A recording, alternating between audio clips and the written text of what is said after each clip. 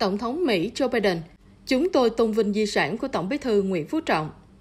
Được tin Tổng bí thư Ban chấp hành Trung ương Đảng Cộng sản Việt Nam Nguyễn Phú Trọng từ trần, Tổng thống Mỹ Joe Biden gửi lời chia buồn sâu sắc tới nhân dân Việt Nam và gia đình Tổng bí thư Nguyễn Phú Trọng về mất mát to lớn này. Thông điệp của Tổng thống Joe Biden có đoạn viết Tổng bí thư Nguyễn Phú Trọng là người đi đầu trong việc gây dựng mối quan hệ sâu sắc giữa nhân dân Việt Nam và Mỹ. Nhờ sự lãnh đạo của Tổng bí thư, hai nước chúng ta đã có được tình hữu nghị và quan hệ đối tác như ngày hôm nay. Chuyến thăm lịch sử năm 2015 của Ngài Tổng bí thư tới Nhà Trắng là một dấu mốc quan trọng trong quan hệ song phương của chúng ta. Nhờ tầm nhìn của Ngài Tổng bí thư, trong chuyến thăm cấp nhà nước năm 2023 của tôi tới Hà Nội, Việt Nam và Mỹ đã trở thành đối tác chiến lược toàn diện, mức độ đối tác cao nhất trong chính sách đối ngoại của Việt Nam. Nhờ tình hữu nghị giữa hai nước chúng ta, người dân Việt Nam và Mỹ cũng như người dân trên khắp khu vực Ấn Độ Dương, Thái Bình Dương ngày nay được sống trong môi trường an ninh và những cơ hội lớn hơn. Đó là nhờ công lao của Ngài Tổng Bí Thư. Đất nước Mỹ và cá nhân tôi sẽ luôn ghi nhớ, đánh giá cao cam kết của Ngài trong hàng gắn và xây dựng một tương lai vì hòa bình, ổn định và thịnh vượng của khu vực và trên thế giới. Chúng tôi tôn vinh di sản của Ngài Tổng Bí Thư và cùng với người dân Việt Nam xin được tỏ lòng tiếc thương sự ra đi của Ngài. Được tin Tổng Bí thư Nguyễn Phú Trọng từ trần, Ban chấp hành Trung ương Đảng Cộng sản Trung Quốc và nhân dân Trung Quốc đã gửi các điện thư chia buồn. Điện thư chia buồn được gửi đến Ban chấp hành Trung ương Đảng Cộng sản Việt Nam, Quốc hội nước Cộng hòa xã hội chủ nghĩa Việt Nam, Chủ tịch nước Cộng hòa xã hội chủ nghĩa Việt Nam, Chính phủ nước Cộng hòa xã hội chủ nghĩa Việt Nam, Ủy ban Trung ương Mặt trận Tổ quốc Việt Nam và nhân dân Việt Nam có nội dung được tin đồng chí Nguyễn Phú Trọng, Tổng Bí thư Ban chấp hành Trung ương Đảng Cộng sản Việt Nam từ trần. Đảng Cộng sản Trung Quốc và nhân dân Trung Quốc mất đi một người đồng chí tốt, anh em tốt, bạn bè tốt. Chúng tôi vô cùng thương tiếc gửi đến Trung ương Đảng Cộng sản Việt Nam, nhà nước và nhân dân Việt Nam lời chia buồn sâu sắc nhất và lời thăm hỏi chân thành nhất. Đồng chí Nguyễn Phú Trọng là nhà Marxist kiên định, là vị lãnh đạo vĩ đại của Đảng Cộng sản Việt Nam và nhân dân Việt Nam. Đồng chí đã cống hiến cả đời mình cho sự nghiệp của Đảng và nhà nước Việt Nam, có những đóng góp kiệt xuất cho công cuộc đổi mới và sự nghiệp xây dựng chủ nghĩa xã hội của Việt Nam, cũng như phong trào xã hội chủ nghĩa trên thế giới. Đồng chí Nguyễn Phú Trọng là người đồng chí thân thiết và người bạn chân thành của Đảng Cộng sản Trung Quốc và nhân dân Trung Quốc. Đồng chí đã kế thừa và phát huy tình hữu nghị truyền thống, vừa là đồng chí, vừa là anh em giữa hai đảng, hai nhà nước Trung Việt. Kết nên tình hữu nghị sâu sắc với Đảng Cộng sản Trung Quốc và những người lãnh đạo Trung Quốc. Đồng chí Nguyễn Phú Trọng đã cùng Tổng Bí thư Tập Cận Bình nâng quan hệ Trung Việt lên cộng đồng chia sẻ tương lai có ý nghĩa chiến lược thúc đẩy quan hệ đối tác hợp tác chiến lược toàn diện Trung Việt, không ngừng tiến lên phía trước. Đảng, nhà nước và nhân dân Trung Quốc sẽ mãi tưởng nhớ đồng chí Nguyễn Phú Trọng. Chúng tôi tin rằng Đảng Cộng sản Việt Nam và nhân dân Việt Nam sẽ biến đau thương thành sức mạnh, kế thừa di nguyện của đồng chí Nguyễn Phú Trọng, đoàn kết phấn đấu, giành được những thành tựu to lớn hơn trong công cuộc đổi mới và xây dựng chủ nghĩa xã hội. Trung Quốc và Việt Nam là hai nước láng giềng xã hội chủ nghĩa, núi sông liền một dài,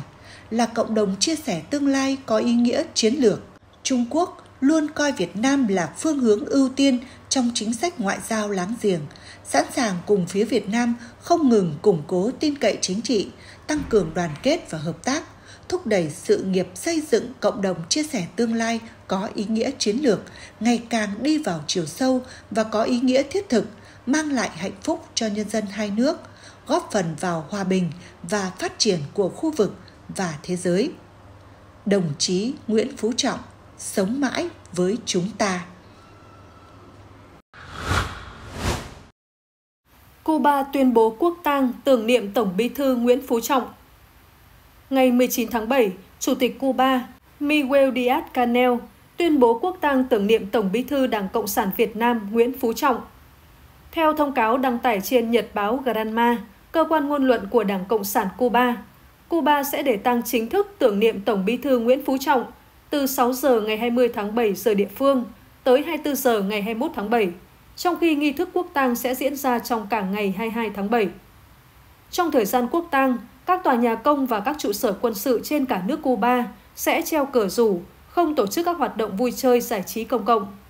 Chủ tịch Cuba Miguel Díaz-Canel bày tỏ tiếc thương sâu sắc Tổng bí thư Nguyễn Phú Trọng, người mà ông coi là người đồng chí thân yêu và người bạn chân thành của Cuba. Chủ tịch Cuba cũng gửi lời chia buồn tới nhân dân Việt Nam anh em, gia đình và người thân Tổng bí thư Nguyễn Phú Trọng. Trước đó, khi hay tin về sức khỏe của Tổng bí thư Nguyễn Phú Trọng, ông Díaz-Canel đã thay mặt Đảng Cộng sản, Chính phủ và nhân dân Cuba bày tỏ tình đoàn kết với Đảng Cộng sản Việt Nam. Cũng trong ngày 19 tháng 7, Quốc hội Cuba đã dành một phút mặc niệm trong phiên họp thường kỳ để tưởng nhớ Tổng bí thư Nguyễn Phú Trọng. Theo truyền thông Cuba, trong suốt sự nghiệp chính trị lâu dài và nhiều thành tựu của mình, Tổng bí thư Nguyễn Phú Trọng là một trong những người nhiệt thành thúc đẩy mối quan hệ đặc biệt anh em và tin cậy lẫn nhau giữa Đảng, Quốc hội, Chính phủ và nhân dân Cuba và Việt Nam. Tổng bí thư Nguyễn Phú Trọng từng thăm chính thức Cuba năm 2012 và 2018. Trước đó tối 19 tháng 7, tin từ Đại sứ quán Cuba tại Việt Nam cho biết cùng ngày, Quốc hội chính quyền nhân dân Cuba đã dành một phút mặc niệm Tổng bí thư Đảng Cộng sản Việt Nam Nguyễn Phú Trọng. Ông Esteban Lazo, Chủ tịch Quốc hội, đã nêu bật tình cảm hữu nghị của Tổng bí thư Nguyễn Phú Trọng đối với Cuba. Đại sứ quán Cuba tại Việt Nam cũng đăng tải những hình ảnh trong các cuộc gặp gỡ giữa Tổng bí thư Nguyễn Phú Trọng với các nhà lãnh đạo Cuba. Cùng ngày 19 tháng 7, theo tin từ Bộ Ngoại giao, được tin Tổng bí thư Nguyễn Phú Trọng từ trần, Đại tướng Raúl Castro Ruz và bí thư thứ nhất Ban chấp hành Trung ương Đảng Cộng sản Cuba, Chủ tịch nước Cộng hòa Cuba Miguel Díaz-Canel Bermudez đã gửi thư chia buồn tới Chủ tịch nước Tô Lâm. Thư của Đại tướng Raúl Castro Ruz và bí thư thứ nhất Ban chấp hành Trung ương Đảng Cộng sản Cuba, Chủ tịch nước Cộng hòa Cuba Miguel Díaz-Canel Bermudez viết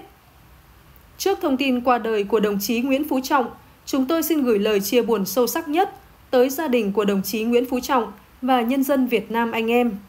Sự ra đi của đồng chí Nguyễn Phú Trọng là một mất mát không thể bù đắp đối với Cuba. Cuba sẽ luôn tưởng nhớ tới đồng chí Nguyễn Phú Trọng như một người anh em vĩ đại, một người thúc đẩy không biết mệt mỏi mối quan hệ hữu nghị đặc biệt giữa hai đảng, hai quốc hội, hai chính phủ và nhân dân hai nước chúng ta. Người bạn thân yêu Nguyễn Phú Trọng sẽ được các thế hệ người dân Cuba nhớ tới như một trụ cột trong mối quan hệ hữu nghị truyền thống lâu dài giữa hai nước chúng ta và như một người anh em vĩ đại, luôn sẵn sàng giang cánh tay đoàn kết với Cuba trong những hoàn cảnh thách thức phức tạp nhất. Trong giờ phút đau buồn sâu sắc này, chúng tôi nhớ tới chuyến thăm quan trọng tới Cuba của đồng chí Nguyễn Phú Trọng vào tháng 3 năm 2018 và đặc biệt là những khoảnh khắc đáng nhớ trong chuyến đi của đồng chí tới thành phố Santiago de Cuba để tỏ lòng kính trọng với người bạn của đồng chí và nhà lãnh đạo lịch sử của cách mạng Cuba, Fidel Castro Ruz. Cuộc đời và sự nghiệp của đồng chí Nguyễn Phú Trọng là di sản vô giá cho thế hệ mai sau. Những công hiến của đồng chí về vai trò của Đảng Cộng sản, về sự vận dụng sáng tạo chủ nghĩa Mark Lenin và tư tưởng Hồ Chí Minh và tầm nhìn của đồng chí về quan hệ quốc tế trong bối cảnh hiện nay là những đóng góp nổi bật vào công cuộc xây dựng chủ nghĩa xã hội tại Việt Nam. Điều này sẽ được thể hiện trong những thắng lợi mới trong công cuộc đổi mới ở Việt Nam dưới sự lãnh đạo sáng suốt của Đảng Cộng sản Việt Nam. Chúng tôi hoàn toàn tin tưởng rằng tấm gương cá nhân, di sản trí tuệ và sự nghiệp chính trị của đồng chí Nguyễn Phú Trọng sẽ là nguồn động viên vô giá cho mọi công cuộc của nhân dân Việt Nam. Chúng tôi xin được nhắc lại với đồng chí Tô Lâm sự ủng hộ và tình đoàn kết của chúng tôi, cùng với ý chí kiên định tiếp tục tăng cường mối quan hệ anh em không thể phá vỡ, đã kết nối hai nước Cuba và Việt Nam.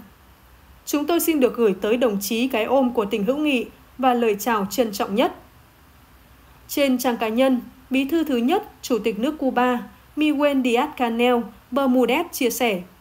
Chúng tôi xin gửi lời chia buồn sâu sắc nhất tới nhân dân Việt Nam anh em, gia đình và bạn bè trước sự ra đi của đồng chí thân yêu Nguyễn Phú Trọng, Tổng Bí thư Đảng Cộng sản Việt Nam.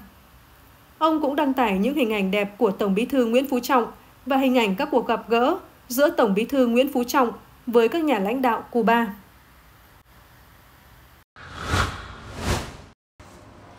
Tổng thống Nga Putin, tôi sẽ giữ mãi ấn tượng về Tổng Bí thư Nguyễn Phú Trọng. Tổng thống Vladimir Putin nhấn mạnh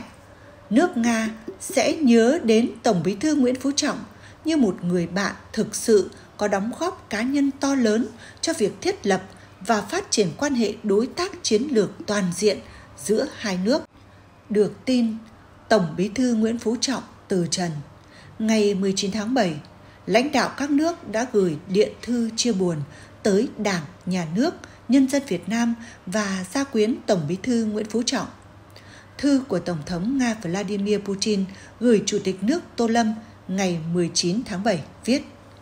Được tin đồng chí Nguyễn Phú Trọng, Tổng bí thư Ban chấp hành Trung ương Đảng Cộng sản Việt Nam từ trần.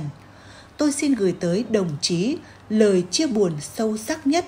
Đồng chí Nguyễn Phú Trọng đã hiến dâng cả cuộc đời để phục sự Tổ quốc. Qua nhiều năm công tác trên các cương vị trọng trách của nhà nước và Đảng,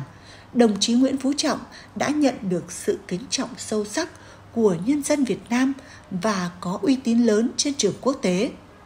Nước Nga sẽ nhớ đến Tổng Bí thư như một người bạn thực sự có đóng góp cá nhân to lớn cho sự thiết lập và phát triển quan hệ đối tác chiến lược toàn diện giữa Moscow và Hà Nội. Tôi đã nhiều lần có dịp tiếp xúc với con người tuyệt vời đó và sẽ giữ mãi ấn tượng về Tổng Bí thư. Tôi xin đề nghị đồng chí truyền lời chia buồn và động viên chân thành của tôi đến gia quyến, người thân của Tổng Bí thư và đến toàn thể nhân dân Việt Nam. Điện chia buồn của Chủ tịch Hội đồng Liên bang Quốc hội Liên bang Nga, Thượng viện Nga, Valentina Matvienko gửi Chủ tịch Quốc hội Trần Thanh Mẫn có đoạn viết một người bạn lớn của đất nước Nga, một nhà hoạt động chính trị, kinh nghiệm, một lãnh đạo nhà nước nổi tiếng đã ra đi. Trên cương vị nhà nước cao cả nhất, Tổng Bí thư Nguyễn Phú Trọng đã có rất nhiều đóng góp cho việc củng cố quan hệ đối tác chiến lược toàn diện Việt-Nga cũng như hợp tác giữa quốc hội hai nước. Thư chia buồn của Chủ tịch Duma Quốc gia Quốc hội Liên bang Nga, Hạ viện Nga, Vyacheslav Volodin viết rất khó có thể đánh giá hết được những đóng góp to lớn của đồng chí Nguyễn Phú Trọng cho việc củng cố quan hệ hữu nghị giữa Liên bang Nga và Cộng hòa xã hội chủ nghĩa Việt Nam. Thay mặt các đại biểu Duma Quốc gia Quốc hội Liên bang Nga, cho phép tôi chuyển những lời thăm hỏi đến gia đình và người thân của đồng chí Nguyễn Phú Trọng